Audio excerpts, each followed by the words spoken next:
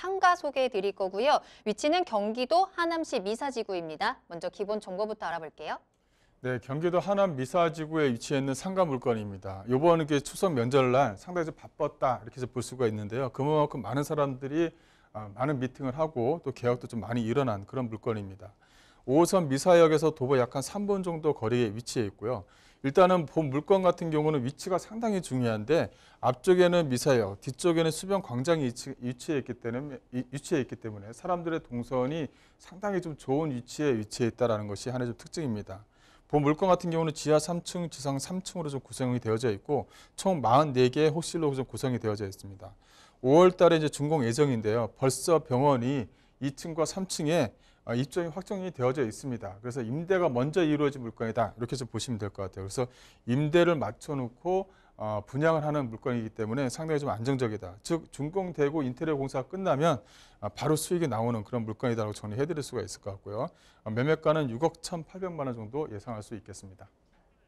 자, 이사님을 이 명절 연휴 때 쉬지 못하게 만든 바로 그 상가라고 하네요. 경기도 하남시 미사지구에 위치한 상가 소개해 드립니다. 그만큼 관심도가 높다라는 걸 텐데 그만 그럴 만한 이유가 분명히 있을 것 같습니다. 입지와 호재 살펴보면서 알아보도록 할게요. 네, 본 물건은 이 미사역에서 약 한 200m 정도 거리에 위치해 있다. 이렇게 좀 보시면 될 것 같아요. 미사역 쪽 주변 지역은 아파트와 그 강일아이 씨, 또 상일아이 씨 주변으로 해서 많은 복합 단지가 현재 좀 이루어지고 있는 지역이다. 이렇게 정리해 드릴 수가 있을 것 같고요. 이 미사역에서 도보 약한 3분 거리, 또 호수, 어, 강변 호수공원이 유일하게 위치해 있는데 바로 본물거지에 바로 옆에 붙어 있습니다. 그래서 어, 옥상에 올라가면 이 수변공원이 다 보일 정도로 어, 위치해 있다. 이렇게 좀 정리해 드릴 수가 있을 것 같아요. 또 주변 지역 자체가 미사역과 본물건지 주변 지역 같은 경우는 약한 약한 3천여 세대의 아파트 단지가 위치해 있고요.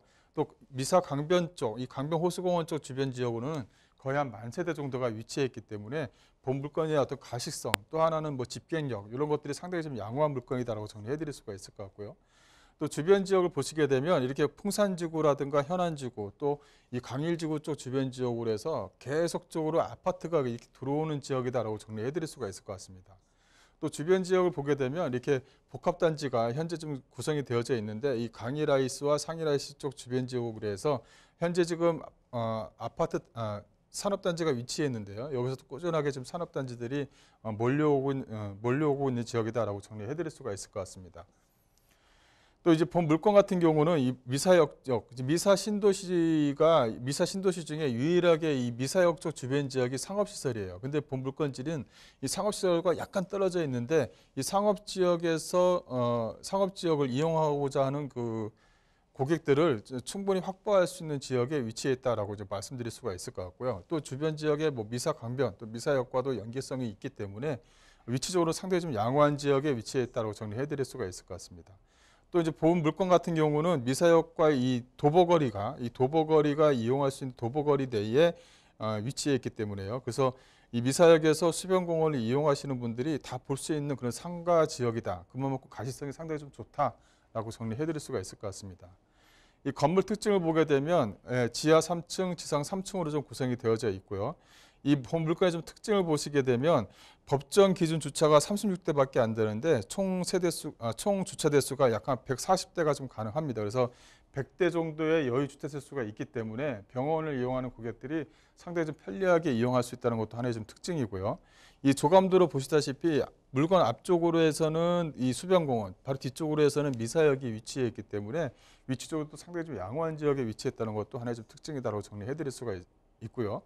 또 본상가 같은 경우는 이 평당 아, 본상가 같은 경우는 다른 주변 지역에 있는 상가보다 대지 평수가 상당히 좀 좋음에도 불구하고 호실 자체가 상당히 좀 적게 들어가 있어요. 그만큼 어, 전용 어, 전용이라든가 이 계약 평수가 상당히 좀 좋다라고 정리해 드릴 수가 있을 것 같고요.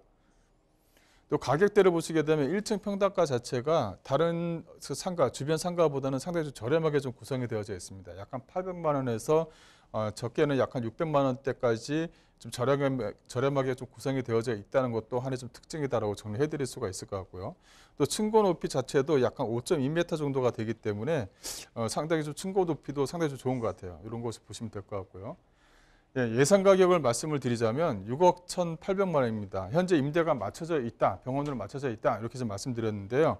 한 개 호실을 좀 뽑아서 말씀드리자면 현재 보증금 2천에 약 한 200만 원 정도는 가- 가능하다 이렇게 좀 보시면 될 것 같아요. 그래서 어, 분양 평수에 따라서 어떤 것은 보증금 뭐 5천에 뭐 250만 원짜리도 있고요. 근데 여기서 한 6억대에서 이렇게 가져온 물건이기 때문에 어, 보증금 2천에 월 200만 원 정도의 병원으로 임차가 맞춰져 있다 이렇게 좀 보시면 될 것 같고 이 병원 자체가 뭐 한개 병원만 들어오는 게 아닙니다. 일반 병원처럼 움직여서 뭐 치과라든가 소아과 또 성형외과나 피부과 이렇게 좀 같이 들어오는 부분이 있기 때문에 좀 고르는 재미가 좀 있다 이렇게 좀 정리해 드릴 수가 있을 것 같고요. 그래서 예상 보증금과 대출액을 활용하시게 되면 실투 자금 약 한 2억 2천만 원이 좀 가능하다라고 정리해 드리겠습니다.